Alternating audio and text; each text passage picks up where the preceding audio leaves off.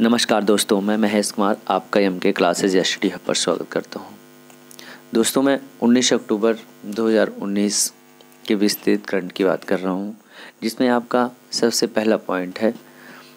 पहला आपका जो विशेष है इसमें, अनु कुमार सिंह बने एन के महानिदेशक, पहला।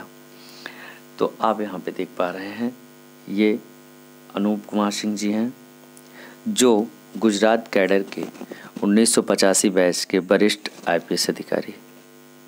इन्हें राष्ट्रीय सुरक्षा गार्ड का महानिदेशक नियुक्त किया गया है। और इनकी जो नियुक्ति है, ब्लैक कैट्स कमांडो बल के डीजी के तौर पर नियुक्ति को प्रधानमंत्री नरेंद्र मोदी के नेतृत्व वाली मंत्रिमंडल की नियुक्ति समिति एसीसी ने यह मंजूरी दी है। यह नियुक्ति पद में शामिल होने की तारीख से और 30 सितंबर 2020 तक होगी। एनएसजी की यहाँ पे इसका दिन दे रखा है इस वाली लाइन में। एनएसजी की स्थापना आतंकवादियों का आतंकवादियों का मुकाबला करने के लिए संघीय आकस्मिक बल के रूप में हुई थी। चलिए नेक्स्ट देखेंगे आप। काफ़ी ज़्यादा इम्पोर्टेंट भारत करेगा इंटरपोल महासभा की मेज़बानी। भारत 2022 में 21वीं इंटरपोल महासभा की मेज़बानी करेगा। जैसे अभी पूछ ले कि भारत 2022 में कौन सी मेज़बानी करने वाला है इंटरपोल की महासभा की मेज़बानी करेगा तो फिर 91 वन, इक्यानवे, ठीक है? भारत की मेज़बानी का प्रस्ताव चिली के सेंटियागो में चल रही इस साल की इंटरपोल महासभा में रखा गया। इससे पहले साल उन्नीस सौ सत्तानवे में, अब तक एक ही बार भारत में इंटरपोल की आम सभा का आयोजन हुआ है। तो इंटरपोल की आम सभा सदस्य देशों द्वारा आयोजित एक वर्षीय अभ्यास है। इसमें सामान्य नीति को प्रभावित करने वाले सभी प्रमुख निर्णय अंतर्राष्ट्रीय सहयोग, काम करने के तरीकों और वित्त के लिए आवश्यक संसाधनों पर प्रतिनिधियों द्वारा विचार विमर्श और चर्चा होगी। नेक्स्ट देखेंगे आप। विश्वविख्यात चित्रकार कालिदास कर्मकार का निधन।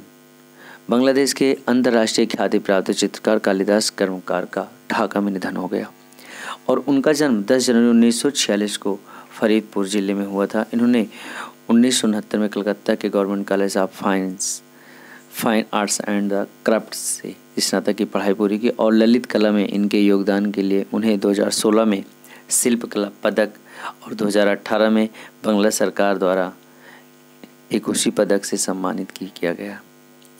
नेक्स्ट देखेंगे आप।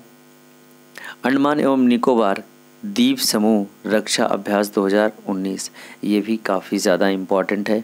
तो अंडमान और निकोबार कमांड, अंडमान एवं निकोबार द्वीप समूह रक्षा अभ्यास 2019 की द्वितीय संस्करण की शुरुआत की गई है।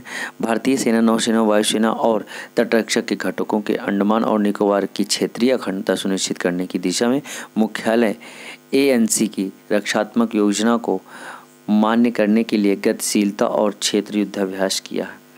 तो ये भी आपके लिए इंपॉर्टेंट होगा। डेनेक्स उन्नीस, ठीक है? चलिए नेक्स्ट देखेंगे। डॉक्टर जितेंद्र सिंह ने किया परमाणु ऊर्जा का कॉन्क्लेव 2019 का उद्घाटन। तो केंद्रीय पूर्वोत्तर क्षेत्र विकास, स्वतंत्र प्रभार, प्रधानमंत्री कार्यालय, कार्मिक जन शिकायत और पेंशन, परमाणु ऊर्जा और अंतरिक्ष राज्य मंत्री डॉक्टर जितेंद्र सिंह ने नई दिल्ली में परमाणु ऊर्जा कॉन्क्लेव 2019 के ग्यारहवें संस्करण का उद्घाटन किया, जैसे पूछ सकता है आपसे कि परमाणु ऊर्जा कानून 2019 का उद्घाटन कौन सा रहा होगा? तो ये ग्यारहवा संस्करण होगा। कौन सा संस्करण होगा? ग्यारहवा संस्करण होगा। ठीक है, बस इतना ही ज़्यादा इम्पोर्टेंट है। ठीक है, चलिए नेक्स्ट देखेंगे आप।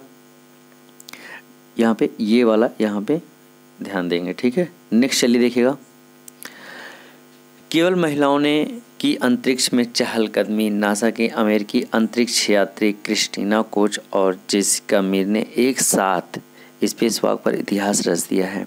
ऐसा पहली बार हुआ है जब केवल महिलाएँ ही अंतरिक्ष में चहलकदमी कर रही थी।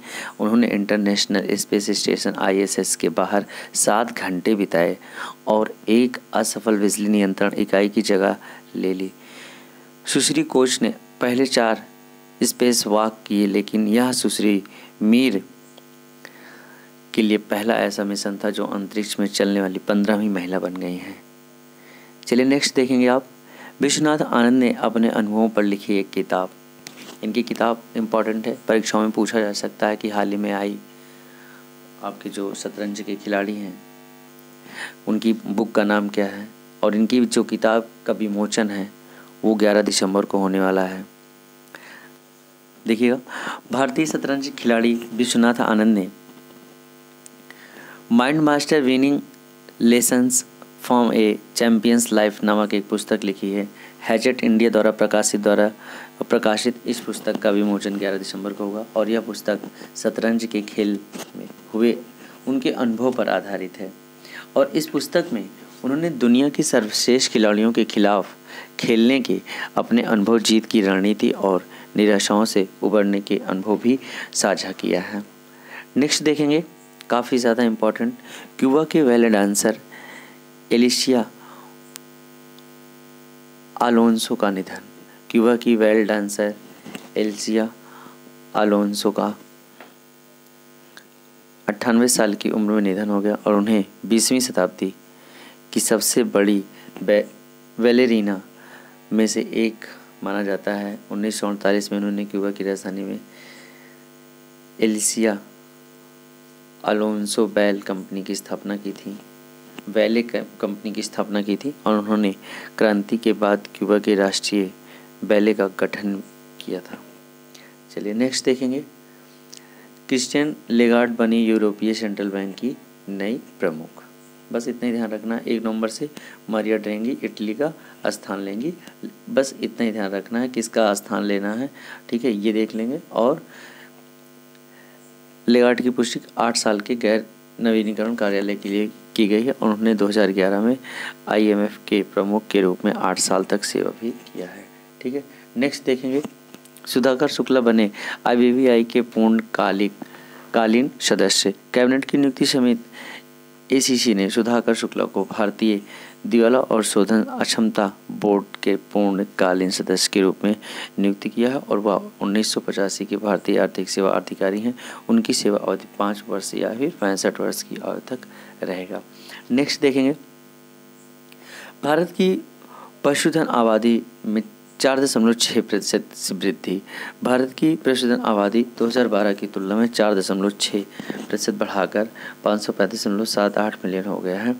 पशुपालन और डेयरी विभाग ने बीसवीं पशुधन जनगणना 2019 के परिणाम जारी किए हैं और इन परिणामों के अनुसार भारत की पशुधन आबादी 2012 से 512 मिलियन से चार दशमलव छः प्रतिशत बढ़कर 2019 में कितना हो गया है? पाँच सौ पैंतीस दशमलव सात आठ मिलियन हो गया है। पहले कितना था? पहले आपका 512 था। कितना था? 512 लेकिन अब कितना हो गया? पाँच सौ पैंतीस सात आठ मिलियन हो गया है। 2019 में कुल गोजातीय जनसंख्या, गोधन, भैंस, मिथुन और याक। पिछली जनगणना की तुलना में एक प्रतिशत बढ़कर तीन सौ दो दशमलव सात नौ मिलियन हो गई। राज्यों में उत्तर प्रदेश की पशुधन आबादी सड़सठ दशमलव आठ मिलियन है। 2012 में यही कितना था? आपका अड़सठ दशमलव सात मिलियन, जो कि सबसे अधिक है राजस्थान की छप्पन दशमलव आठ मिलियन। और कितना था? सत्तावन दशमलव सात मिलियन। मध्य प्रदेश की कितना? चालीस दशमलव छः मिलियन। कितना था? छत्तीस दशमलव तीन मिलियन। और पश्चिम बंगाल की कितना? सैंतीस दशमलव चार मिलियन। कितना है? तीस दशमलव तीन मिलियन दोस्तों